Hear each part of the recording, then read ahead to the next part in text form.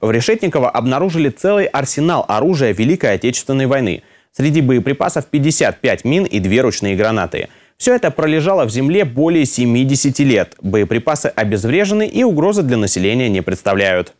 Опасную находку обнаружили рабочие близ деревни Санькова. Прокладывали электрокабель и наткнулись на боеприпасы.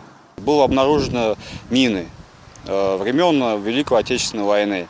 Э, Общее количество, конечно, неизвестно было. Поначалу их было рост порядка где-то 8 штук.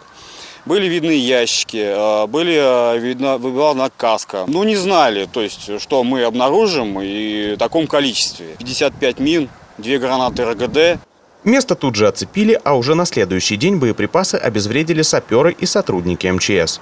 Это не первая находка в Решетниково. Место обнаружения мин еще какое-то время будет в зоне внимания саперов.